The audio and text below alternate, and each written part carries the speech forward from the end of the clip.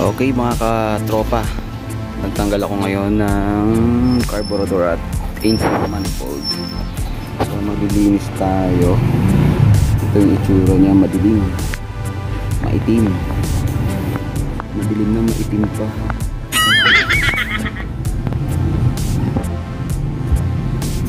Nag-stock up kasi yung pinakailalim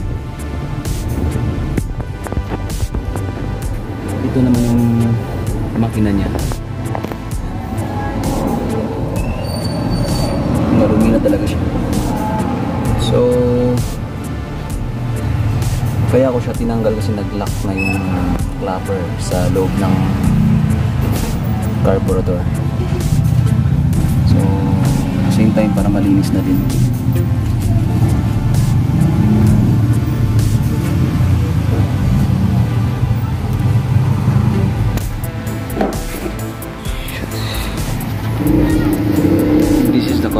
Nissan Sentra. Hitachi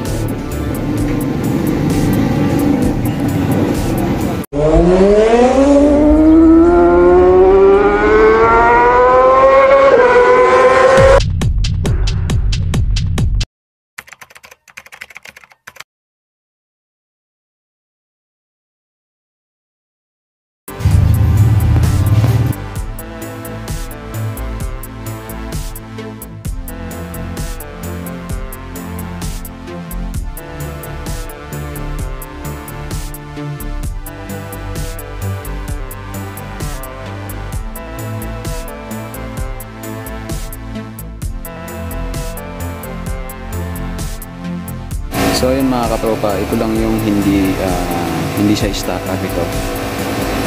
Isa gumagalaw pa. Pero ito stock up na yung pinaka-intake niya.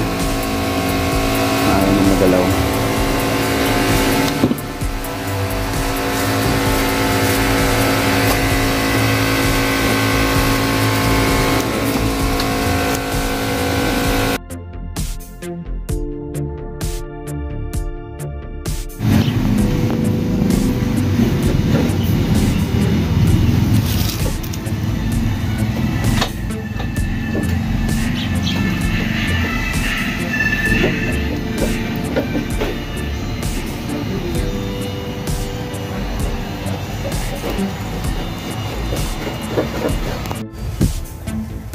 So ayun mga boss, tapos na po tayo. Bago po natin itong mapalambot ng ganyan, pagka nag-stack up siya, hawakan niya ng kabilang dulo. Tutuwa ko dito din. Ang dalawang dulo, pilitin niyo siyang pagganon. So kahapon hindi ko siya magaganyan. So ngayon malambot na siya. Pero before that, kailangan isprayan niyo siya ng sprayan ng carburetor cleaner. Tapos pinagsamang gasolina, pabrasin niyo siya dito sa loob, lalim. Yan. Pag kapag ka naka-encounter ganito guys, ano nun lang ang ganun lang ang technique. Pero medyo matagal siya kaya kailangan patience po yung pag, pagpapaluwag nito. Pag-loosen ng stock up na ah, clapper. Ito yung clapper niya sa ilalim. So kailangan siya. Kahapon, kahit anong puwersa ko, ginamit ako na ng plies dito, tinanggal ko na hindi pa rin. So, mas pinaka-safe. Balik siya. Sabay ng dalawang kami mo, ganun mo siya. Pero bago mo gawin yan, dahil hindi pa kakayanin yan ng ganit, ano pang gawin mo, basta mauuna dapat yung carburetor cleaner, sprayan ng sprayan palagi, tapos gasolina. So, ayan, okay na. Ginamitan ko pa kahapon ito ng WD-40. So, ayun, tutuwa mo rin. Ito, lapit mo. Yan, malambot na siya. Kaya na siyang kamay-kamayin lang. Okay na siya. It is a Nissan carburetor. Uh, 19... 1996 model ata. Hindi lang sigurado. Nissan Sentra po ito guys. So, okay. Maraming salamat. So ayun, ah, mamaya is hahanginan ko na lang to siya, yung mga jettings niya. Yun, yung mga jettings niya dito. Hahanginan natin yan mamaya. Ito. Yan. Pati yung kanyang sa floater. Yung input ng gasolina para sa baso niya. Ayan. So ayun, ah, successful tayo mga ka mga katropa. Okay? So, ayun lang. Ganun lang kadali. Para ano, yan, kaya na siyang kamay-kamayin. Ganun kasi dapat talaga, dap, ah, ganun kasi talaga to eh. Kapag ka, kahit umaandar siya o hindi, kailangan yung silinyador, nagagalaw nyo siya. Yan, di ba? Free hand lang. Hindi mo kailangan ng mga mabibigat na tools, bigatin na tools. Kahapon, nung isang araw, hindi ko siya talaga magalaw. Talagang intact talaga siya nakaganyan. Hindi ko talaga siya magalaw.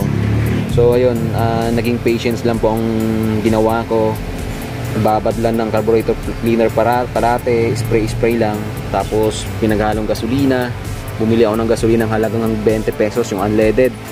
Unang-una, ginamitan ko siya ng diesel, tsaka kerosene na pinaghalo. Ayan, dami ko nang ginamit para lang mapalambot siya. Dito kasi stock up niya guys eh. Hindi ito. Pagka kinalawang na yung dito niya dahil matagal na rin kasing hindi ito naka-andar noon dahil naka-stock lang tong sasakyan dito sa talyer namin. So ayun, ah, ngayon kailangan na namin gawin kasi para hindi na siya magkaganito ulit. So i-maintain ko na siyang ganito. Napabayaan na kasi itong mga katropa eh.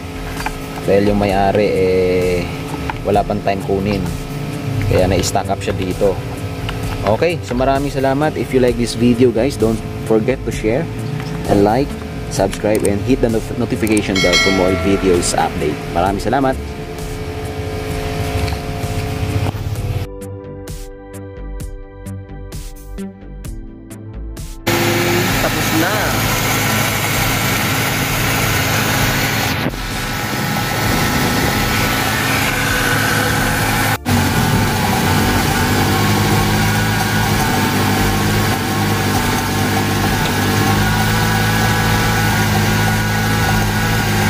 Ayun mga bro. Ah, kung naalala nyo, ito yung ginawa kong ah, carburetor na nag-stack up tapos yun. Ah, tinesting namin ngayon, i-road test namin ngayon. So, so far okay naman siya. Then napakalamig din ng aircon ng Nissan na talaga. The best talaga ang Nissan brand. So alright, don't forget to subscribe.